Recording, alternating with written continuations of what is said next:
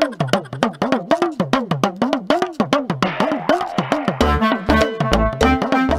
రాధా ఏం మోసుకొని వస్తున్నావు? ఏడుకో పోయి వస్తున్నట్టున్నావు కదా? ఆ అమెరికా పోయేస్తున్నా. ఇప్పుడు ఎడ్ల బండి దిగొస్తున్నా.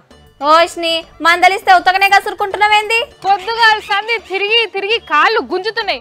నేను కాదు నా బాధ కాదు అనుకుంటే నడిమిట్లా నువ్వు వచ్చినావు. తిరిగినవా? ఎటు పోయినావు ఏం చేస్తున్నావు? ఏంది బ్యాగ్ కానొస్తలేదా? షాపింగ్కి పోయేస్తున్నా. నాలుగైదు దుకాణాలు తిరిగినమ్మా. అబ్బా అబ్బా అబ్బా సావైంది పద్మ. షాపింగ్కి పోయినావా? ఏం కొనుక్కొచ్చినావు రాదా ఏం కొనుక్కొస్తాము? నాలుగైదు చీరలు కొనుక్కొచ్చుకున్నా. అవునా? ఏవి చూపెట్టు? ఎట్లున్నాయో చూద్దాం. ఆ ఇప్పుడు ఏంది అన్ని మడతలు ఇప్పి నీకు చూపించి మళ్ళీ మడత పెట్టాలనా? నా వల్ల కాదు పద్మ. ముందే తిరిగి తిరిగి కాళ్ళు ఏమన్నా గుంజుతున్నాయి అమ్మ. కుక్కలు వీకినట్టే వీక్తున్నాయి. చూపిస్తే చీరలు అరిగిపోయినట్టే చేస్తున్నావు కదా.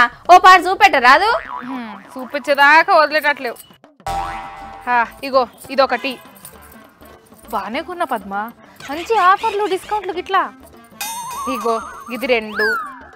ఇంకో ఒకటి ఎర్రది ఒకటి ఇగో పింక్కి గ్రీన్ కాంబినేషన్ ఏమని ఉంటుందా చెప్పు. ఇగో ఇదొకటి బ్లూ. ఇంకొకటి నాకు ఇష్టమైనది గ్రీన్. బాగున్నాయా? నాలుగుకి ఏం సంబంధం లేదు చూడు. అన్ని డిఫరెంట్ డిఫరెంట్ కలర్లు కొనుక్కున్నా నేను.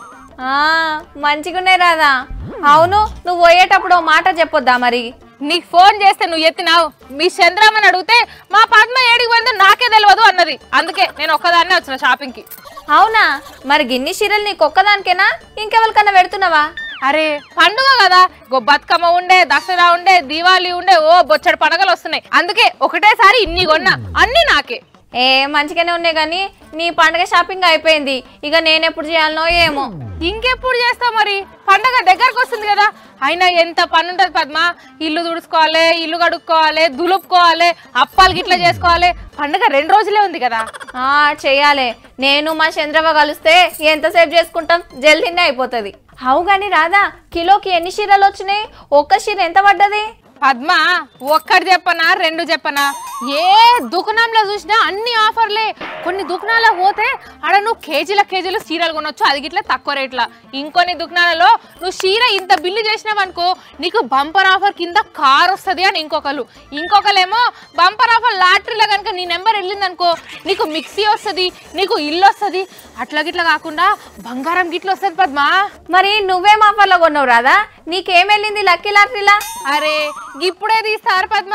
ఇప్పుడు బిల్ వేస్తే అప్పటికి ఎప్పటికో లక్కీ డ్రా తీస్తారు. కానీ కొన్ని దుకాణాల రోజు రోజుకి లక్కీ డ్రాలు అంట మరి నీకు కార్ వస్తుందా? బంగ్లా వస్తుందా? లక్కీ లాటరీలా పద్మ అయినా అది లక్కీ లాటరీ నసీబు ఉన్నోళ్ళకే వస్తుంది. నాకు వస్తుందా పెడుతుందా?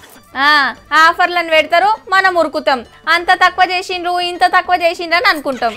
ఏహే తక్కువనే ఉన్నాయి పద్మ ఒకటి కొంటే ఫ్రీ అయినా ఈ ఆఫర్లు డిస్కౌంట్లు మన కోసమే కదా పెట్టేది? ఐదు వందల చీరను వెయ్యి రూపాయల రేట్ అని యాభై శాతం డిస్కౌంట్ చేసి అమ్ముతారు. అది కూడా తెలియదా అమ్మనే నువ్వేదో చీరల వ్యాపారం చేసినట్టే చెప్తున్నావుగా. పండుగ ఆఫర్లని పాత సరుకు అంతా అమ్ముకుంటారు. మనం ఎగబడతాం. అగ్వకే వస్తున్నాయని. అమ్మా ఇక నేను తను ముచ్చట్లు పెట్టిన అనుకో చీరలు కొన్న సంతోషం గిట్లు ఉండదు నాకు. ఇక నువ్వు ఉండు నేను చీరలు మడత పెట్టుకొని ఇంటికి పోతా. ఏమోలే నీదైతే ఎట్లనో అట్లా షాపింగ్ అయిపోయింది. ఇక మిగిలింది మాదే. నేను మా చంద్రబాబు పోయి చేయాలి షాపింగ్